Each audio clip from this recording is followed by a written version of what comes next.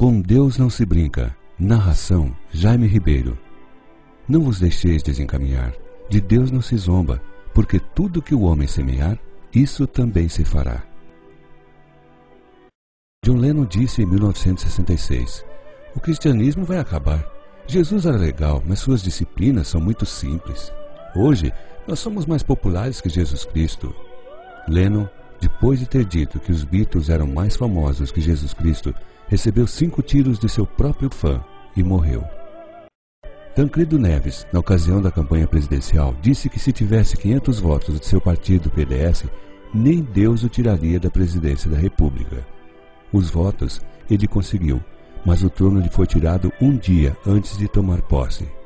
Cazuza, em um show no Canecão, no Rio de Janeiro, deu um trago e um cigarro de maconha.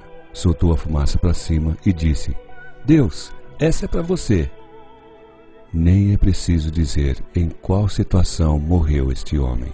Marilyn Monroe foi visitada por Billy Graham, um pregador do Evangelho, durante a apresentação de um show.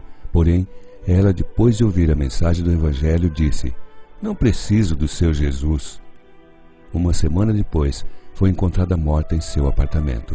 Bon Scott, ex-vocalista do conjunto ACDC, cantava no ano de 1979 uma música com a seguinte frase: Don't stop me, I'm going down on the way, all the highway to hell.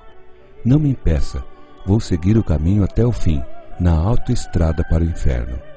No dia 19 de fevereiro de 1980, Bon Scott foi encontrado morto, asfixiado pelo próprio vômito. O navio Titanic, na ocasião em que foi construído, apontaram-no como o maior navio de passageiros da época. No dia de entrar em alto mar, uma repórter fez a seguinte pergunta para o construtor: O que o senhor tem a dizer para a imprensa sobre a segurança do seu navio?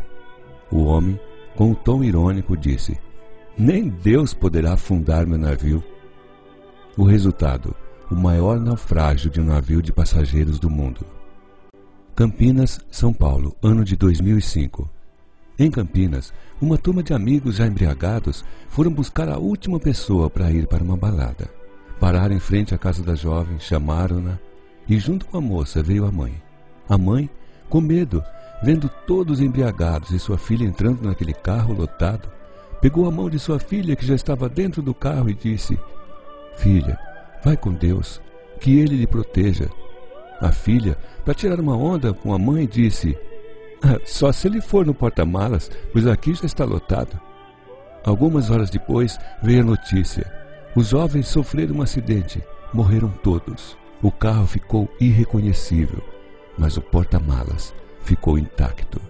A polícia técnica disse que, pela violência do acidente, seria impossível o porta-malas ficar intacto.